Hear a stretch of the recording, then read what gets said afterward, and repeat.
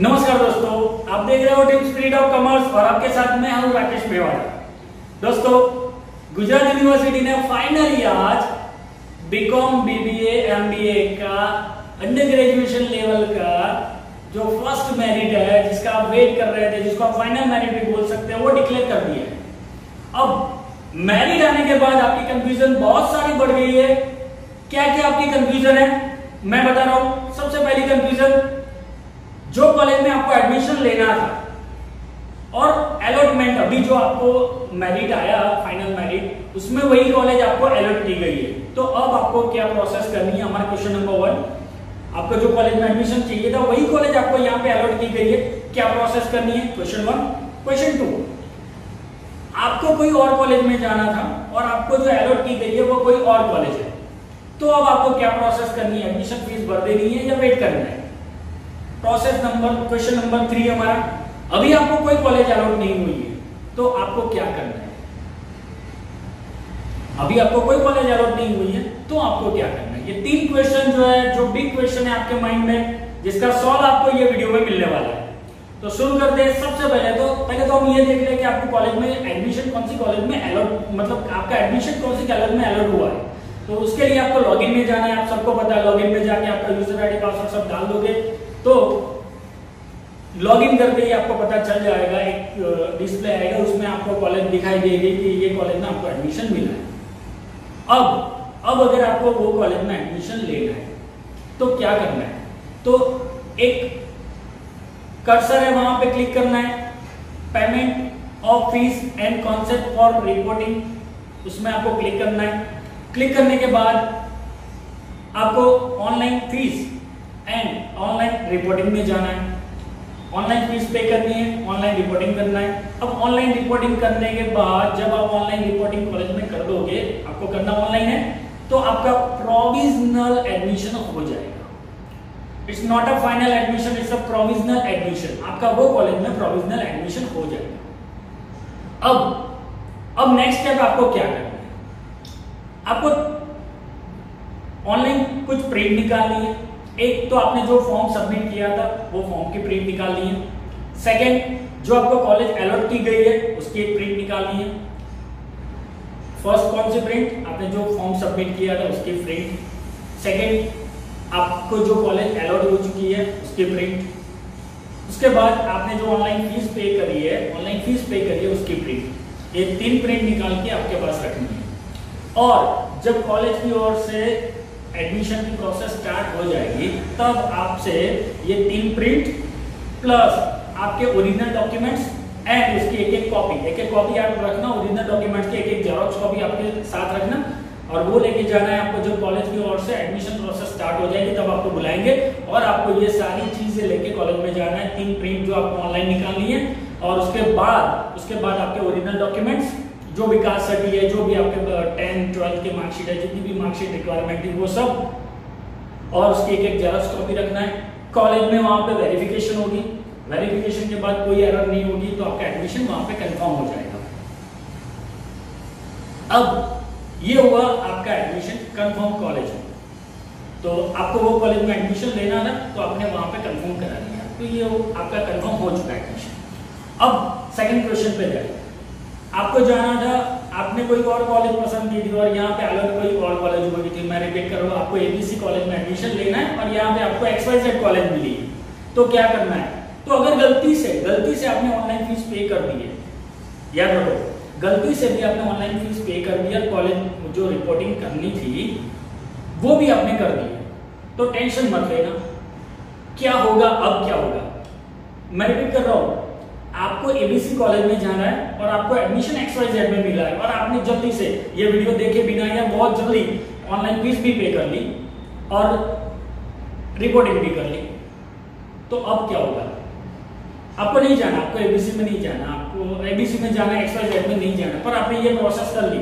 और या कोई स्टूडेंट ऐसा है जिसने ये प्रोसेस ही नहीं की, जिसने ऑनलाइन फ़ीस भी पे नहीं की और रिपोर्टिंग भी नहीं किया, दोनों सेम हो गए कैसे सेम तो अब क्या करना है? जब सेकेंड राउंड स्टार्ट होगा, इसको हम बोलेंगे रीसफलिंग राउंड रीसफलिंग राउंड के लिए जो डेट डिक्लेयर होगी, वो डेट में आपको लॉगिन में जाके कॉन्सेप्ट देना है, सम्मति देनी है कि आपको सेकेंड राउंड में सेकेंड राउंड में हिस्सा लेना है। अब इसका मतलब क्या होगा? सेकेंड राउंड में क्या होगा? तो आपको चॉइस फिलिंग करनी पड़ेगी। और वो चॉइस फिलिंग करने के बाद आपको कोई कॉलेज में एडमिशन नहीं मिला है तो भी आप चॉइस फिलिंग कर सकते हो। आपको कॉलेज में एडमिशन मिल चुका है, पर आपको नहीं लेना है तो आप रिसफलिंग राउंड में जाओगे चॉइस फिलिंग करोगे। अब उसके बाद होगा क्या? तो उसकी मेरिट आएगी। जैसे ये मेरिट आया, वैसे उसका मेरिट आएगा। अब आपके पास दो ऑप्शन है, देखो। आपका मेरिट जब सेकेंड राउंड का आ चुका, आपने फ़र्स्ट राउंड में आपको एक्सवाइजेड कॉलेज में एडमिशन मिला था, पर आपको नहीं जाना था।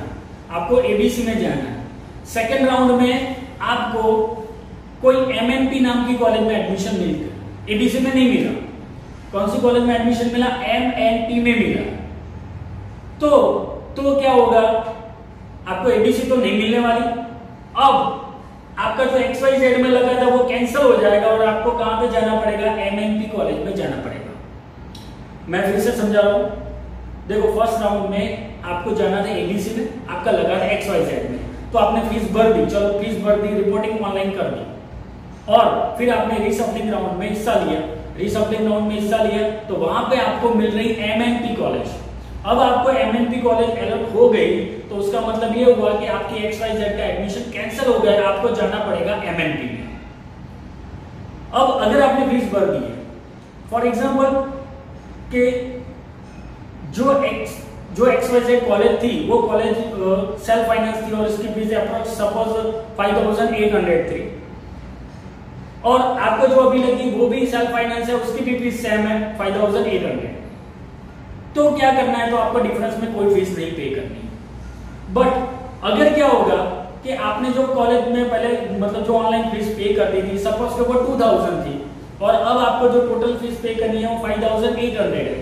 तो आपको जो डिफरेंस अमाउंट है फाइव थाउज़ेंड एट हंड्रेड में से टू थाउज़ेंड निकाल देंगे तो थ्री थाउज़ेंड एट हंड्रेड आपको पे करनी पड़ेगी, यहाँ पे ऑनलाइन और अगर आपने जो फ़ीस पहले पे कर दी थी वो फाइव थाउज़ेंड एट हंड्रेड है, और आपको अभी जो कॉलेज में लगा है वो कॉलेज की फ़ीस है टू थाउज़ेंड तो आपको ऊपर की डिफरेंस की अमाउंट गुजरात यूनिवर्सिटी की ओर से चेक से आपको मिल जाएगी।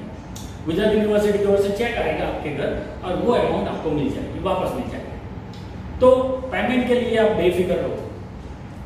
अगर आपको पेमेंट करना होगा तो ऑनलाइन डिफरेंस दिखाएँगे और पेमेंट नहीं करना होगा तो ज़ीरो आएगा और आपको रिटर्न मिलने वाला होगा तो उसका चेक आपको मिल जाएगा। और अगर आपने फ़र्स्ट राउंड में पेमेंट किया ही नहीं तो आपको सारा पेमेंट करना है और पेमेंट कर दिया तो आपको डिफरेंस ध्यान देना है। ओके क्लियर तो अब बात करें कि आपको